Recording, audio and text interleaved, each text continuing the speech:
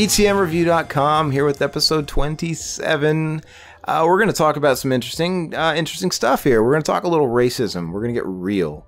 We're going to bring it all down to a serious level here. Uh, reportedly, there was a.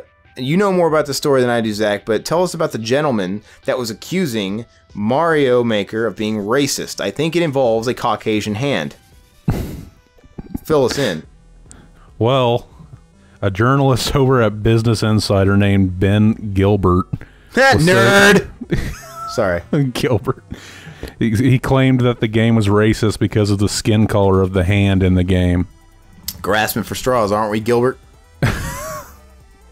Now, is is the hand actually in the game? I was assuming the hand was just there for advertise.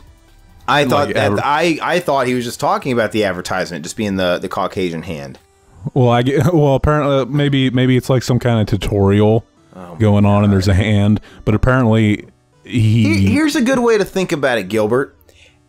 I think you're the racist for assuming that it's a Caucasian hand. you didn't ever think about that this game was made in Japan? Like maybe that's a Japanese hand. Yeah, Do they not have a right to make it a Japanese hand? yeah they have the right. I mean, this sounds like the biggest fucking tomfoolery Yeah, news bit I've ever heard in my life. I feel dirty for even talking about it. I feel shamed for even giving this guy any attention. What was this guy's angle exactly? Who is this guy? What does he have to gain from such publicity? yeah.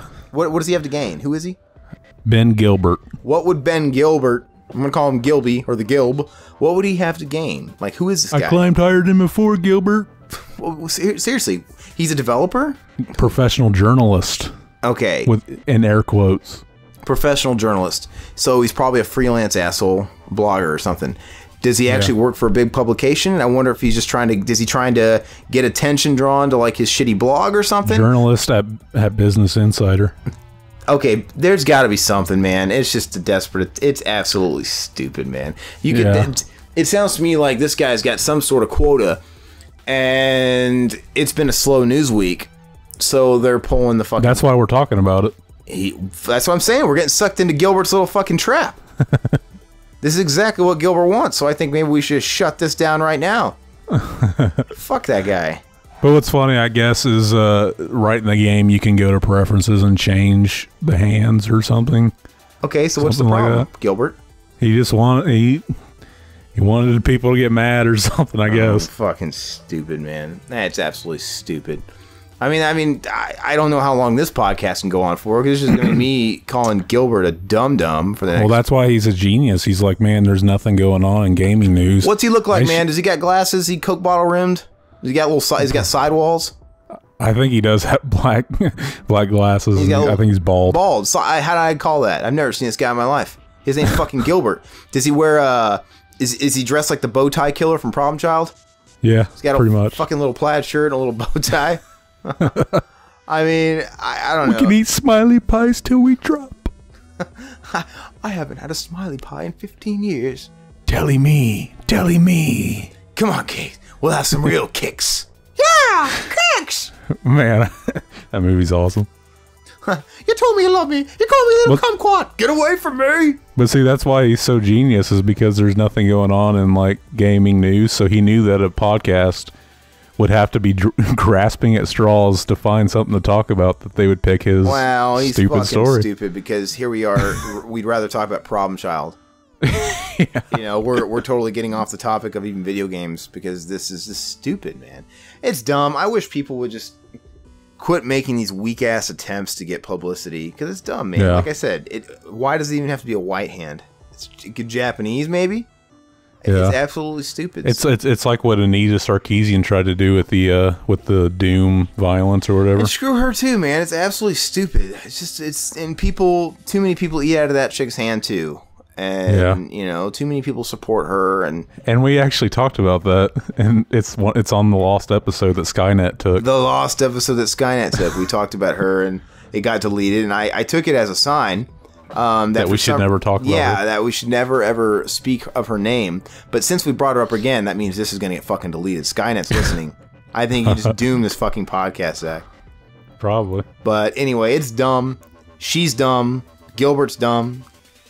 And why can't why why why spread the negativity? And like I said, if anything, that guy sounds racist to me. Does the Yeah. did- maybe they should have painted the hand yellow for it to get the point across to him? That was probably Yeah. Japanese because that's the way And- he sees. And it's something so like innocent, like Mario Maker. Really? Like, why would you even do this? For God's sakes, the Japanese made an Italian plumber. Yeah, why They would know, you ever even? they know they, they, they, they know no boundaries. They're just trying to. It's one world. You know, it's fine. you know, Nintendo is a little stereotypical. Let's go, meet the ball, woohoo! Well, uh, apparently it was completely up to the guy that did the voice in oh, really? Yeah, I guess. Well, I guess like it, I guess originally he was talking like this. You know, he's from Brooklyn, Hey, Brooklyn. but he figured that would scare kids, so he. Oh, so so I mean, nobody nobody in the HR department of Nintendo said we can't do that. That's fucking racist as shit. like I wonder what he sounds like I'm in uh. Japanese. I wonder who does his voice in Japanese. What he sounds like. spaghetti. Oh, pizza pie. When he falls asleep in N64, Mario 64. Yeah. Oh, spaghetti. Oh, it's just ridiculous, man. but you know, it's it's absolutely like I'm a tired. Hey, hey, whoa, hey, a bobbity beebity boobity. hey, it's not racist, fucker. It's cute. It is Okay. cute. So it just kind of goes. You know what? I think it's all goes down to ah. Well, then wait. Maybe I'm taking my own medicine here, because I always bitch about people not taking stuff too seriously, have a thick skin. Because you know what? If you really want to be offended, we could always be offended at something, and we're never gonna stop being angry, and that's no way to live. So you know what? I'm changing my ways. Gilbert, you're still a dick, and you're still stupid for even bringing that up. But you know what? I I'm just gonna let it go, man. I'm sorry for anything I said. I'm sorry for being exactly right about profiling you and the way you look. Um, sorry about all. Speaking of, speaking of Gilbert, Gilbert Gottfried was in Problem Child too, so we should just talk about Problem Child again. My mind's blown, dude. anyway, are you guys, are you guys' mind blown out there? What do you think about this pointless news? Should you, you sh- maybe you just shouldn't comment on it because we don't want to fuel it because it's silly. It's absolutely just garbage and it's silly. And you know what? Just tell us what you think about Problem Child. That'd be better. don't give this guy. Don't give Gilbert any attention. Um, Do you like Problem Child one or two better? You know what? Tell it's one of those things where they both have their sweet place. Um, I think I don't know. They're they're both good, but no. And then also, uh, what's her face? Feminist, McFeminist. What's her name again? Anita Sarkeesian. Anita Sarkeesian. Yeah, Uh, whatever. I mean, like I said, it's just one of those things, man. Where I think these people feed off of that negative. Like I said, that negative publicity ends up turning into a good thing for them. At the end of the day, you know, infamy is still a thing. So uh, talk amongst yourselves. Talk about positivity. Um, whatever, man. Rest in peace, Iwata. How about that? How about that? Anyway, that's all we got for this episode. Uh, yeah, let us know what you think. BTMReview.com, uh, Facebook, uh, Twitter, Tumblr for all you kiddos out there. And uh, yeah, let's just uh, keep it positive. Unless you're talking about us. I mean, if you want to say Zach sucks, feel free. You know, do whatever. No, I'm treating you like you're Riverman. I always do that for Riverman. It's like I love it because I'll, I'll say real quick before I let you guys go. We we do um, a slew of other podcasts, and Zach himself Zach himself comes from his own podcast. You want to go ahead and pitch that real quick? Oh yeah, I actually said the wrong URL last time. It's mazstw.tk. Oh, that's fucking catchy as shit. Mac and Zach take the take over the take Save the world. Mac and Zach save the world. That's right. We're on Facebook and all that stuff. Mac and Zach save the world. And we do here at BTMReview.com, we do a slew of other podcasts. And it's so funny because my frequent co host, Riverman, uh, I love it. We do our The Walking Dead podcast. And um, I love it when we get.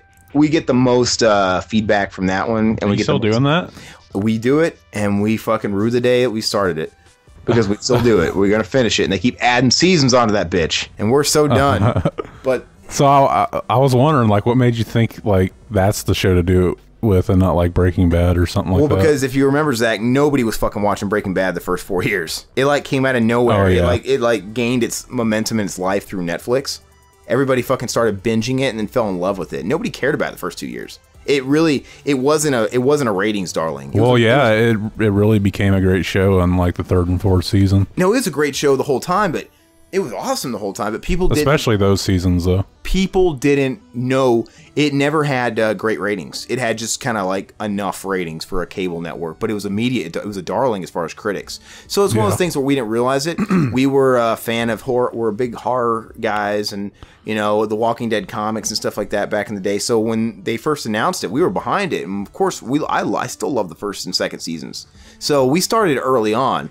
Little did we know, six years later, you know, the drama soap opera it would become and just yada yada yeah. yada. But that's neither here or there. I was just gonna say that you know that that one's funny because it, we get the most backlash, the most uh, commentary for it, and Riverman takes so much shit. It's so funny, and I and I take it upon myself to read it all.